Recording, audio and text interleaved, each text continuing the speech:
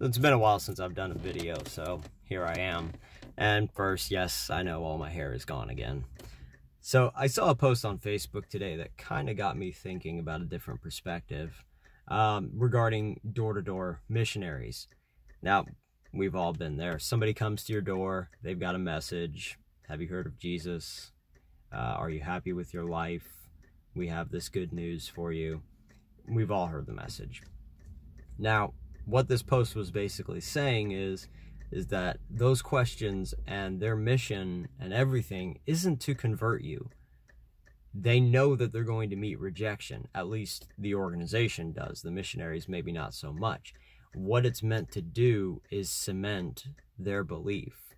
And it's meant to cement the control that the community has over those people, over their congregation. And I know it sounds super insidious, but it is what it is. So when they come to your door, they know the organization knows that their missionaries are going to meet a lot of rejection. They're going to meet a lot of hostility because, again, it's 2019. Everyone's heard this message, everyone knows the shtick, and people are more often than not annoyed to have their day interrupted with this posed religious conversion. Now, when they meet with this hostility, you know, obviously we become, we are the others. We are the hostile world outside the safety and the security of the community. So they return after these missionary trips, after receiving 50 some odd rejections, 50 some odd doors slammed in their faces they return to their congregation and they're welcomed as heroes. They're they're you know welcomed lovingly and accepting and they share their experiences and from what I gather from this post, um, you know, essentially just a, a round table.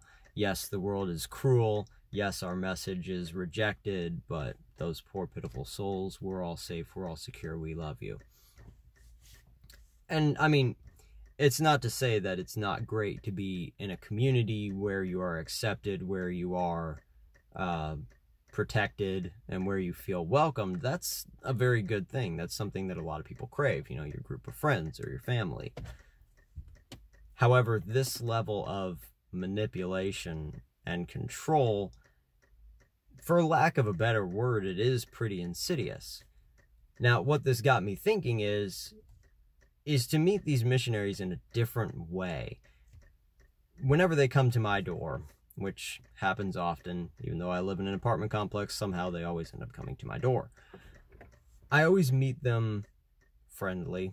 You know, I'm, I'm not hostile. I don't slam the door in their face. I don't cuss them out. I don't really retort to snarky responses even. You know, sometimes if I'm tired, it'll be a little bit curt because I just, I don't have time for it.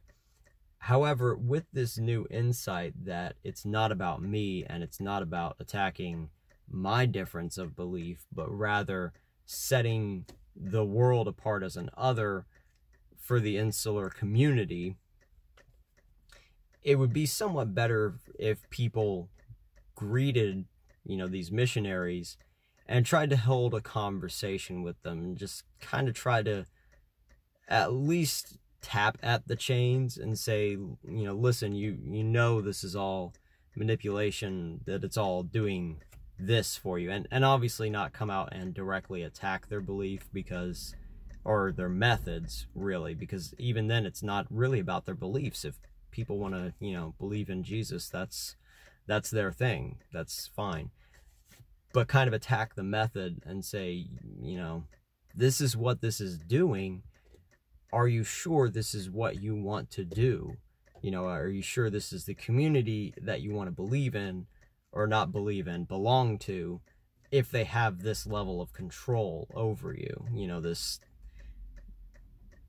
I don't want to say puppet strings, but I can't really think of another analogy to it. But just try to give them, you know, the insight that this Facebook post had in a friendly conversational manner. And maybe you know i'm not setting out to destroy another religion obviously. Um, you know i'm fine with whatever people want to believe. It's it's their life it's their path whatever. But if you can help another person not belong to such a controlling system, and not all of them are, you know, to be clear, not every Christian church does this kind of stuff, you know. Um, but if you can, you know, help somebody break free of that level of control, it ultimately might help them out. You know, it might help mend the rift between a lot of religions because we do have a lot of misunderstanding and a lot of bridges that have burned because of this idea of we are us and they are the others, you know, us versus them.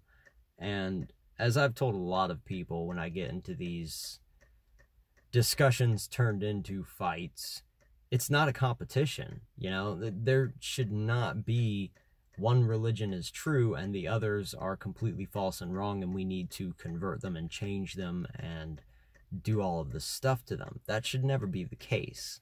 Religion is something that is there to help people not start wars, but so often it has. And that's something that needs to change. So, those are my thoughts for the day. Ran a little longer than I wanted it to, but there you have it.